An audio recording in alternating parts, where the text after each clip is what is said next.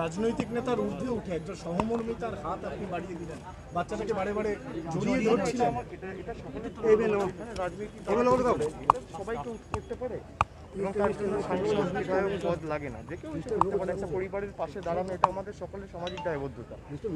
এবং যে কারণে হয়েছে ইতিমধ্যে আপনারা দেখেছেন তেত্রিশ চৌত্রিশ জন মারা গেছে বজ্রপাতের কারণে। অত্যন্ত দুর্ভাগ্যজনক ঘটনা কোনো ভাষা নেই আমার কাছে। এবং এর আগেও আমি গেছিলাম আরেক পরিবারের সাথে দেখা করতে। এরপর আমি রঘুনাথগঞ্জে যাব, সেখানে সাতটি পরিবার থাকবে। এবং আজকে আমি শুনলাম বাঁকুড়ায় আরও তিনজন মারা গেছে।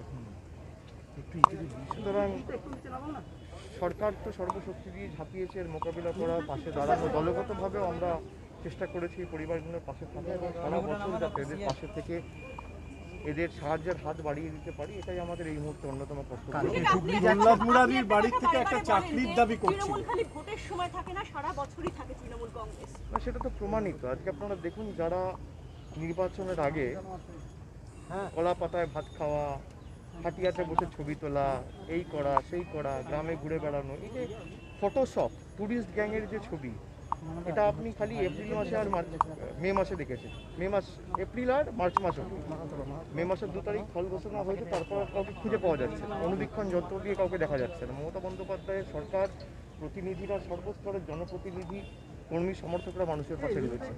সেই জন্যই তো আমরা বলেছিলাম বহিরাগত আসে বহিরাগত যায় বাংলা নিজের মেয়েকে চায়। সেই জন্যই আমরা বলেছিলাম যে বহিরাগতদের বাংলায় নেই কোনো ঠায় বাংলা নিজের মেয়েকে চায়। এটা তো প্রমাণিত। যে মানুষের মানুষের সুখে আপনি তৃণমূল কংগ্রেসকে পাবেন না, কিন্তু আপনার দুঃখে আপনার বিপদে তৃণমূল কংগ্রেস আজীবন ছিল আছে থাকবে। সর্বভারতীয় সাধারণ সম্পাদক হওয়ার পরই আপনি সারা ভারতে বিস্তার লাভের একটা ঘোষণা দিয়েছেন।